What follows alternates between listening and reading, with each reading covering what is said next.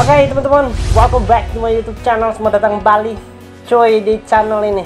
Oke teman-teman, jadi aku kemarin sempat buat video tentang lagu BTS Butter itu diputar di final Euro 2020 teman-teman.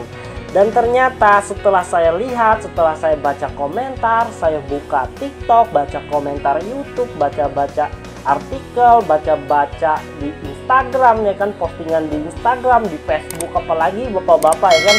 Dan ternyata ya sekitar 98 9 persen itu pecinta bola nggak setuju karena lagu BTS Butter ini diputar di final Euro 2020 teman-teman. Jadi pecinta bola ini nggak setuju cuy karena dinilai lagu BTS Butter ini nggak cocok sama temanya kemeriahan bolanya nggak cocok karena tahun-tahun sebelumnya Euro 2016 itu meriah banget dengan penutupan dengan lagu yang di final itu luar biasa itu membawa semangat gitu dan dinilai lagu BTS ini benar-benar tidak cocok sama sekali ya teman-teman. Bahkan ada yang teman-teman pecinta bola berpendapat bahwa ini para ARMY ini ngevote BTS cuma pengen lihat BTS doang nggak ngerti bola nggak nonton bola.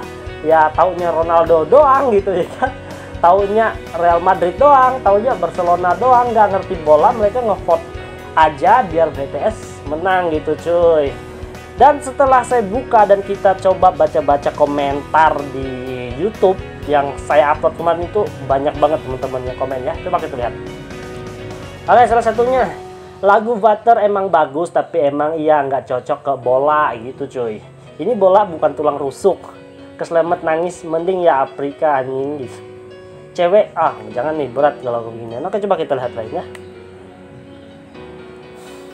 Gue memang nggak setuju kalau lagu Butter tapi hargai aja ya. Moga aja diubah itu mereka berharap lagu ini diubah. Bahkan kemarin ada seseorang itu kan ngebuat ngevote gitu ngajak teman-teman pecinta bola buat batalin itu biar supaya lagu BTS ini bisa batal gitu ya kan. Teman-teman ini musuhnya ARMY cuy. Musuhnya berat. ARMY ini dari penjuru dunia penjuru desa ya kan.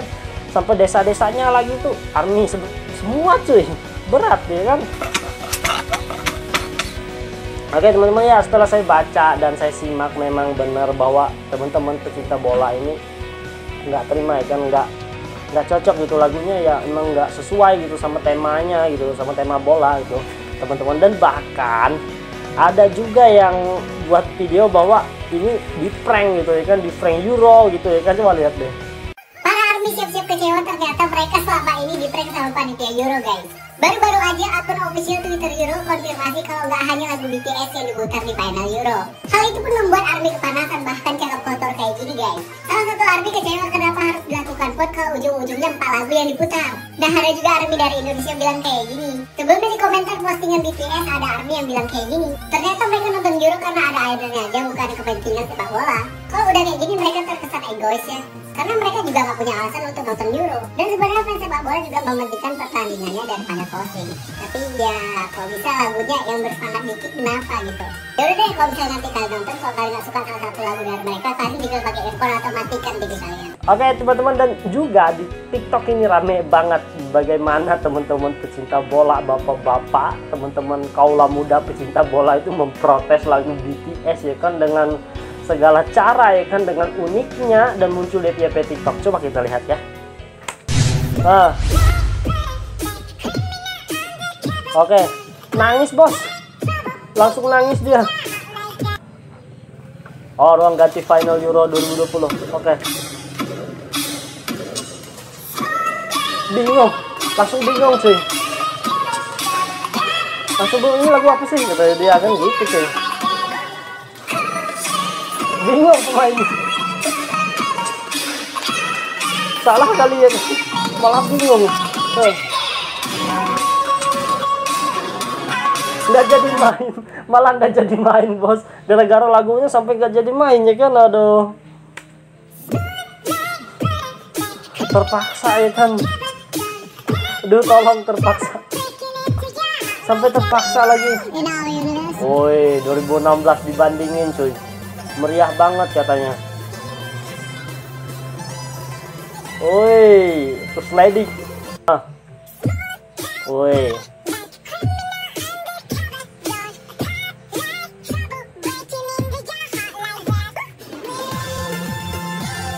Tapi lebih seru ya kan teman-teman lebih seru. Jadi teman-teman itu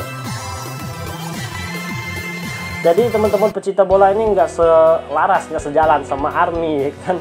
Jadi mereka banyak yang protes di TikTok itu luar biasa teman-teman. Banyak yang nggak setuju ya kan? Coba kalian buka TikTok itu isinya FYP mulu itu ya Euro 2020 mereka itu pada pada nggak setuju ya teman-teman. Ya kalau saya sih ya netral aja ya teman-teman. Kalian jangan cuci maki saya komen-komen saya di bawah kayak begini-begini. Tapi saya benar-benar netral ya teman-teman. Saya suka musik saya suka bola loh.